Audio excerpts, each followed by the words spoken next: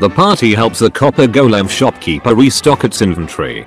The lawful good paladin thinks that since the shopkeeper is a golem and not alive, it's alright to steal from it. The paladin steals health potions from behind the counter. The copper golem turns on its kill mode and transforms into an adult copper dragon, then knocks out the paladin in one hit. The rest of the party get a 75% discount on everything. For the inconvenience,